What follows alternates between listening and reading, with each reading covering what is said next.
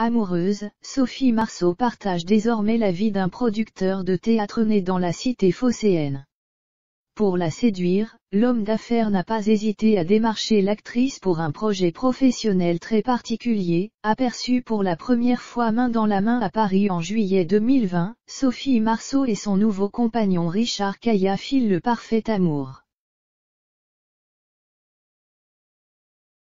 Beau blond charismatique, l'homme qui a fait chavirer le cœur de l'actrice est un producteur de théâtre très connu à Paris.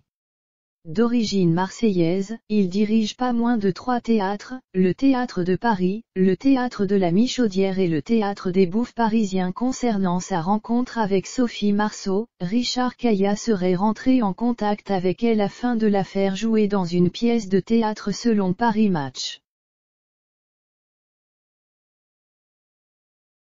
Si l'on ne sait pas encore si la jolie brune a accepté le défi de Richard, elle a en revanche été séduite par le producteur avec lequel elle est partie en vacances en amoureux à Calvi à l'été 2020 côté professionnel. Richard Kaya est également à la tête de sa propre société Live Entertainment qui a été lancée en 2010 qui a pour ambition de mettre Internet au cœur des productions de spectacles vivants.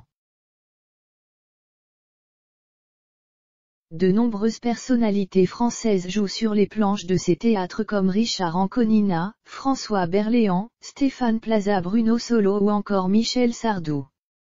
Très attaché à ses racines marseillaises, Richard Caillat préside également l'association des diplômés de l'école Euromed Management.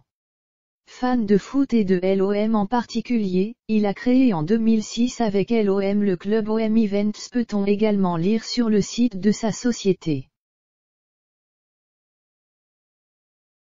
Avide de liberté et contre le pass sanitaire, la mère de Vincent Zulowski et Juliette Lemley, entre 26 et 13 ans, semble également partager les mêmes idées que son nouveau compagnon à propos de la crise sanitaire.